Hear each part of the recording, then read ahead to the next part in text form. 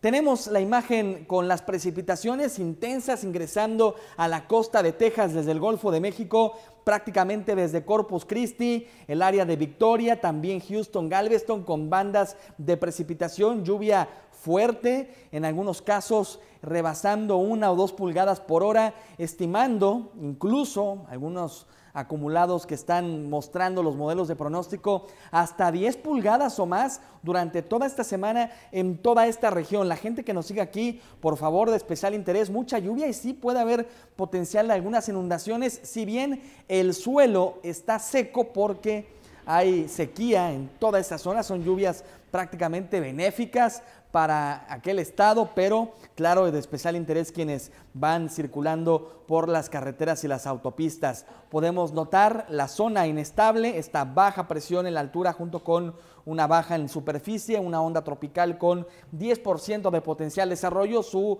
eh, cercanía con tierra le va a impedir desarrollarse, pero sí genera mucha lluvia a lo largo de la costa de Texas, incluso desde el valle del río Bravo, el área de Bronzeville, hasta Galveston, acumulados que pueden ir hasta las 10 pulgadas o más, puntualmente sobre todo al norte de Corpus Christi, pero en general varias pulgadas de lluvia van a caer en toda esta zona. En Texas, de 200 a 400 milímetros, lo que le digo, 10 pulgadas o más de lluvia en toda esta zona, desde el norte de Bronzeville Corpus Christi, el área de Houston, Galveston, de especial interés por posibles inundaciones, si bien estamos hablando también de lluvias benéficas por el tema de la sequía. Aquí en Nuevo León, entre lunes y jueves, de 25 a 75 milímetros, actividad más bien focalizada en zonas montañosas, en algunos puntos del centro oriente del estado, chubascos no para todos o no en la misma proporción, pero estar atentos a esa probabilidad cada día en un 40, 50, 60%, subiendo el día de mañana, el miércoles quizás 70%.